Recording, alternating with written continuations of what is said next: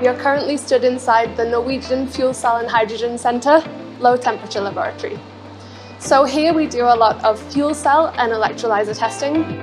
What we're doing here in the lab is basically connecting a fuel cell stack to the test bench and we simply operate the stack by drawing some current when it's under hydrogen and oxygen and seeing how it performs. So what we do is simulate some of the dynamic behavior that you might experience when you're operating a fuel cell stack and we would just simply see how it performs. We can also do impurity testing where we would perhaps introduce an impurity such as carbon monoxide into the fuel cell and see how that impacts the performance.